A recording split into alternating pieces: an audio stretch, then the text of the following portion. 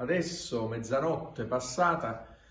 abbiamo approvato un'importante delibera di giunta, sempre riferita all'emergenza coronavirus. Leggetevela poi con attenzione, la sintetizzo, il rinvio di una serie di scadenze di pagamenti, sospensione di altre imposte, eliminazione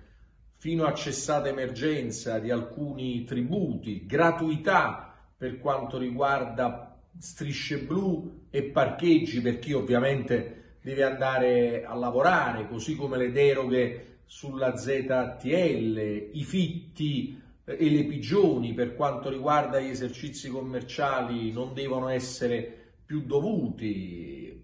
procedure di urgenza per acquisire materiale per sanificare, in particolare eh, mezzi per pulire e igienizzare le strade della nostra città, direttive con cui si deve mettere in sicurezza ogni lavoratore, ogni lavoratrice, ma anche tolleranza zero per chi si rifiuta di svolgere servizi di pubblica necessità è una guerra e bisogna combattere per chi è in prima linea. Insomma, una serie di misure, un rafforzamento anche del lavoro agile, il lavoro da casa, che fa del comune di Napoli